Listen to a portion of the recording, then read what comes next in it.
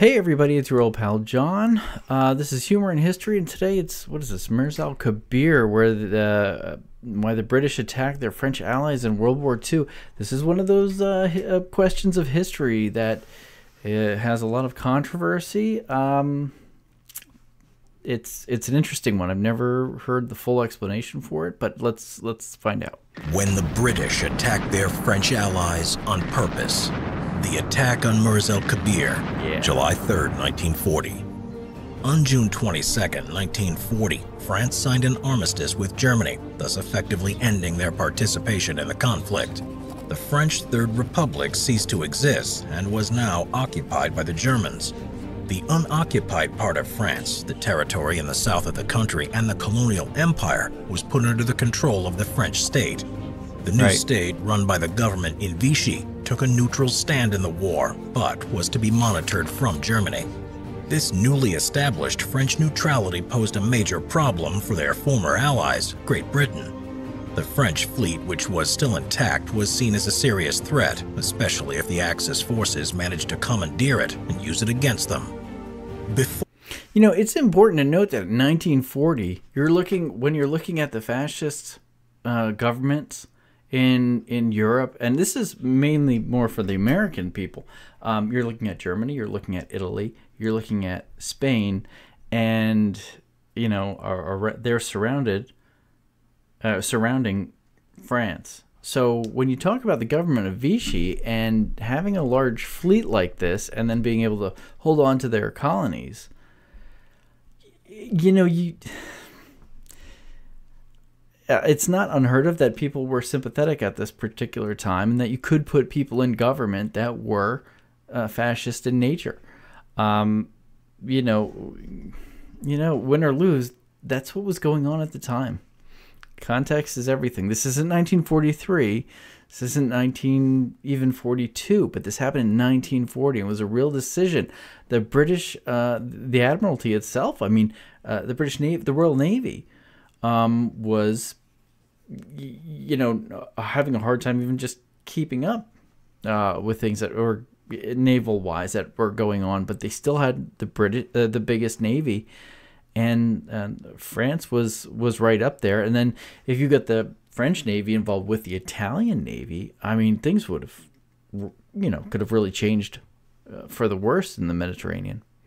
Before World War II, the French Marine Nationale underwent a process of modernization by building new improved classes of destroyers and battleships. In 1940, the French Navy was among the most powerful navies in the world, yeah. along with those of Great Britain, the United States, Japan, and Italy.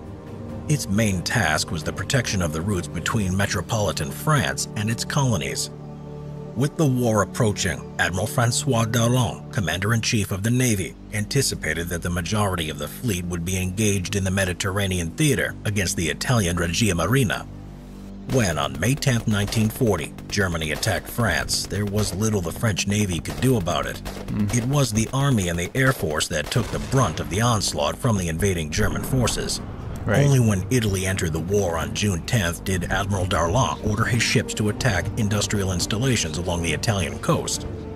Until June 22nd and the signing of the armistice, there had been no significant clashes between the French and the Italian Mediterranean fleets. Right. Under the conditions of the armistice, the French state was allowed to keep its entire navy, but under certain conditions, like the rest of the armed forces, to keep it neutral in any further conflicts, Ships were to be anchored in metropolitan and colonial ports. Mm. The majority of the Navy went along with the conditions of the armistice and sided with the Vichy government.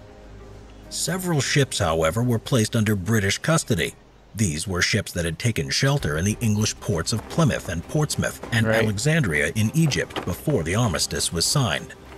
These ships remained under the command of their French commanders, who were loyal to the Vichy, but who were restrained from any combat activity. Despite the open antagonism shown by the Vichy government to them, the British were not overly concerned that they would actually violate the terms of the armistice.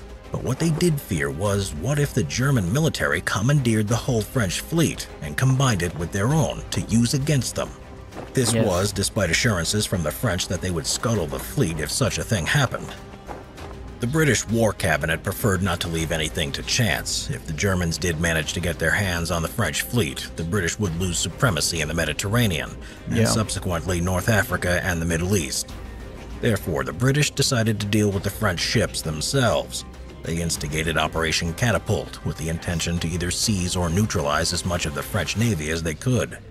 The French fleet in the Mediterranean was stationed in the port of Toulon in France and several ports in Algeria. The naval base in Toulon was heavily protected and thus presented a bigger challenge than the Algerian ones. Mm-hmm. For that reason, the port of Mers el Kabir near Oran was picked as a target. To eliminate any potential threat coming from the French fleet, the British assembled their fleet in Gibraltar, designated Force H. Its commander, Vice Admiral Sir James Somerville, received an order to present the French Admiral Marcel Bruno Gensoul in Mers el Kabir with an ultimatum to hand over the fleet under his command. I often thought that this was such a uh, such an audacious plan. I mean, uh, not that not that Great Britain had anything really to lose by by doing this. I mean, but they're they. I mean, well, they could. I mean, the Vichy could Vichy uh, Navy, who was generally more pro Vichy than the the Third Republic. I mean, they could they could align with the Germans, so you're essentially taking something out of the equation. But you know, the other thing that I always uh, was interested in is, you know, it, it could have been a quite a quite a rough battle for the British, and, and to a certain extent, I guess it was, if if I recall, was very tough on the Royal Navy. I should say, the Royal Navy. So I, I'm interested in this, and um, my memory is faded a little bit as to how this happened. But given the ultimatum, I mean, and well, we'll see as we go in here. The alternative plan was to attack the fleet and neutralize it. Somerville disapproved of such an approach, but the cabinet and especially Winston Churchill insisted that he carry out the order without delay. On July 3, 1940, ships of Force H approached the coast of Algeria. HMS Foxhound, carrying Captain C.S. Holland, the officer tasked with delivering the ultimatum, continued toward Mers Howland wasn't it? it wasn't his uh, nickname Holland Mad? El Kabir. Or it might be a Since the guy. HMS Foxhound entering the port would be a violation of the armistice, Admiral Gensoul refused to let it in. Instead, Captain Holland embarked on a motorboat and headed into the harbor. Offended that Admiral Somerville was only sending a ah. captain as his emissary, Gensoul refused to meet him and sent his flag lieutenant instead, to whom Captain Holland delivered the British ultimatum. The French were offered five options. 1. Sail with the British. I had no idea they were they were offered five options. I thought, you know, come to think of it, I don't even remember what they had offered them. This is interesting. and continue the fight against Germany and Italy. Okay, yeah. Two, sail to a British port with reduced crews where the ships would be safeguarded until hostilities were over. Number two. Okay, that's what I thought they were given the option to do. To sail to a British port or sail to a neutral port, I guess. That's what I had thought happened. Okay. 3. Sail with reduced crews to a French West Indies port where the ships could be demilitarized or entrusted to the safekeeping of the United States.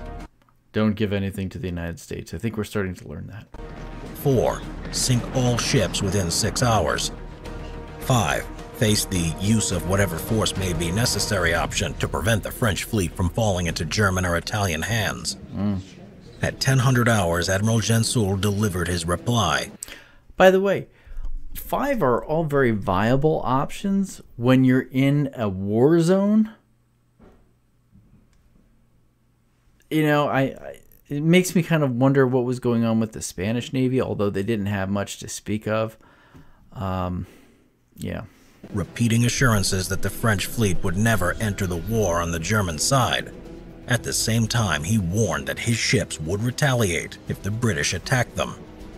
By that time, That's tough to buy that. Like, don't worry, we're not going to enter on the German side. However, we are part of, we did agree, most of the, the uh, French Navy did agree to uh, be part of the Vichy government, which was created by the, by the Germans. So I can understand that being not good enough a response. Time Force H had appeared on the horizon, waiting for Captain Holland to return with the news. After almost an entire day of negotiations, Holland left the harbor at 1725 hours. At the same time, Somerville ordered his fleet to assume their bombardment stations. British Force H consisted of the battle cruiser HMS Hood, two battleships HMS Resolution and HMS Valiant, the aircraft carrier HMS Ark Royal, two light cruisers, and 11 destroyers. The French Force de Raid. By the way, I have to say, I at this point in the war, and this is very early in the war. This is after the Sitzkrieg. This is after the invasion of France. The what the French, uh, what the um, British did with their navy, to me is just fascinating. You talk about having whatever you have in your in your hands, whatever you're whatever you're able to carry, um, metaphorically speaking. And in this case, they have a great uh, a great um, sea power. They use this insanely well. Invasion of Madagascar, stretching all the way out even to Singapore, and I mean, even though that's still considered the greatest military, def- I think, defeat in British history, still being able to send something out there to hold that is is to me uh, amazing, and the fact they were even hold, able to hold on in Mediterranean alone was was fascinating, and guard the straits between Calais, Dover, and all the ports of England, and as well as uh, when the U.S. gets involved in the war, being able to do the convoys there, the convoys going into Russia soon, uh, and then on top of that, getting involved in uh, landings and you know support uh, supply and support um, uh, areas in Africa, the Middle East to a certain extent, um,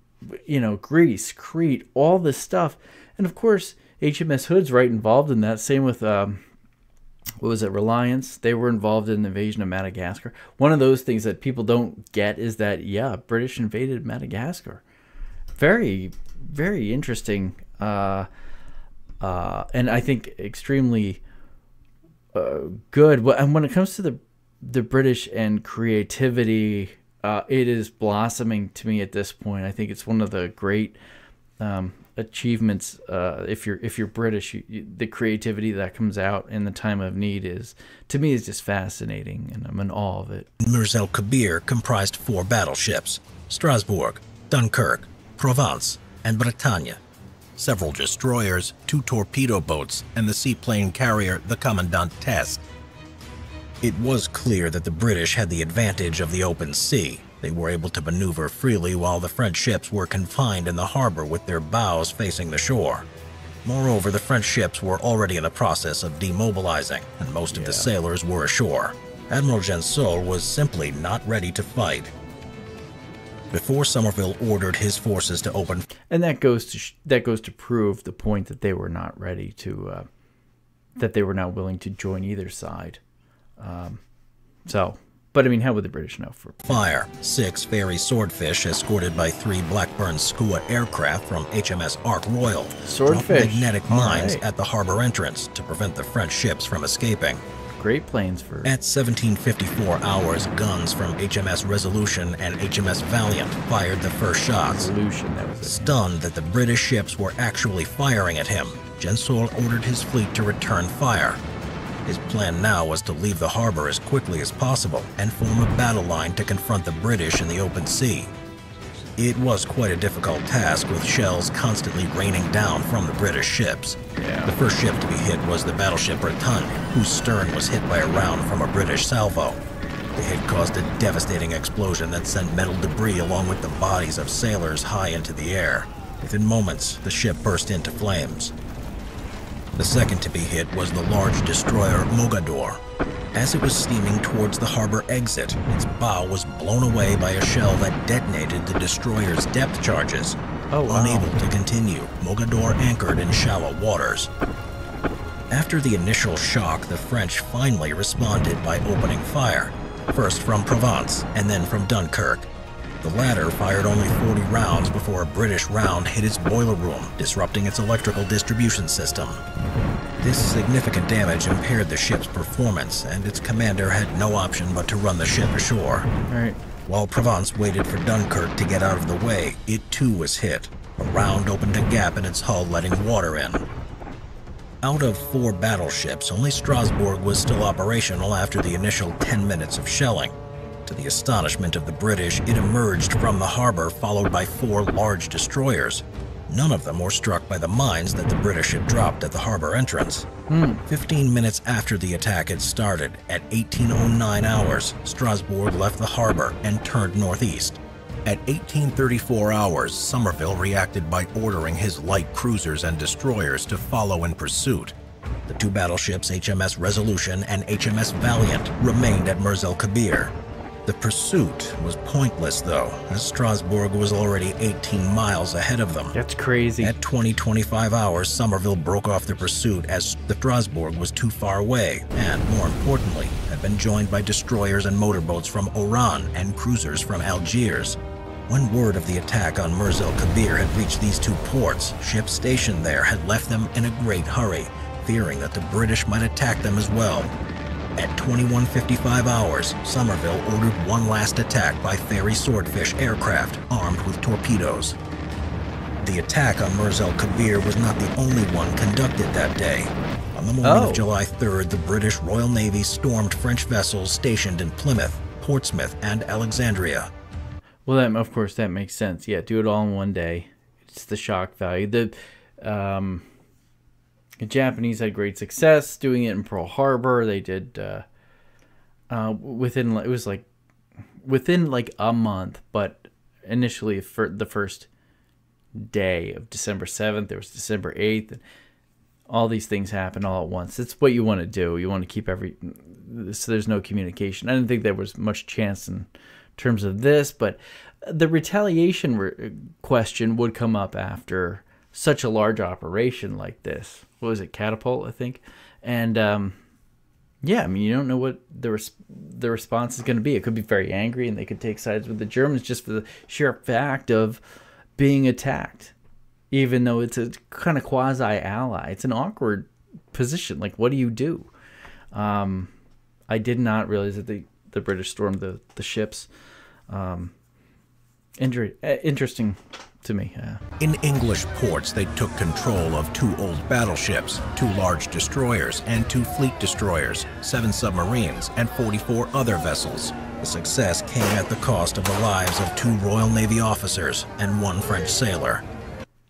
to me, that is actually. Uh, I don't think that's. Uh, I don't like it when anybody dies, but that's actually not um, bad when it comes to casualties. I would expect it a lot more, to be honest. In Alexandria, Vice Admiral Rene Godfroy, in command of one battleship, four cruisers, three destroyers, and one submarine, decided not to resist the British. In return for letting him continue to command his fleet, Godfroy agreed to reduce the crews on board his ships, empty their fuel tanks, and remove the guns' breech blocks and deposit them at the French consulate. That's fair. The outcome of the Mers el Kabir attack was tragic, to say the least, including the additional attack on Dunkirk on July 8th. I, I want to say, if I recall correctly, there was, gosh, it was like a thousand casualties, two thousand maybe. French lost 1,648 men, of which 1,297 were killed. Yeah. It was a heavy loss of That life was- for a relatively small. And if I remember correctly, too, the French, I mean, the understandably so, the French were pissed. But I, I, I, I get why. I, I get why the British did it. result. The Force Maritimes Française, the navy of the Vichy French, still remained a force to be reckoned with. Yeah, but uh, reduced. When, in November 1942, the Germans conducted Operation Anton, the military occupation of Vichy France, the French kept their word and scuttled the entire Yeah. fleet in Toulon. The Germans never managed to get a hold of the mighty French Navy. French officers and sailors had honored the old alliance despite the tragic outcome of the Mers el Kabir attack. Amazing. All right, to me that is, uh, I think that's fascinating. I think that's one of those decisions in history that is a very tough one to make, and um, I, I think uh, not many other than you know some of the more major uh, people that study World War II history um, don't know that. So even in the states, of course, because let's face it, uh, if you're in the United States, the, the, World War II doesn't start until 1941. And yes, I've heard in the comments that we didn't need to be involved. You guys could have won anyway with Britain and Russia. I understand that. I get I get those points. Nonetheless, this is uh, to me fascinating. More Americans should be studying this. British, I know if you're British, you study this. Guys, thank you for watching with me and um, reacting with me. Don't forget to like, share, and subscribe. It helps the channel grow, you know, and it gets more, hopefully, Americans involved in what the British did in terms of world history. That's really one of the goals when I when I do the videos on uh, on Britain, and I'm hoping more Americans watch this. So send this to an American friend. Cheers, everybody. Have a great day and have a pint.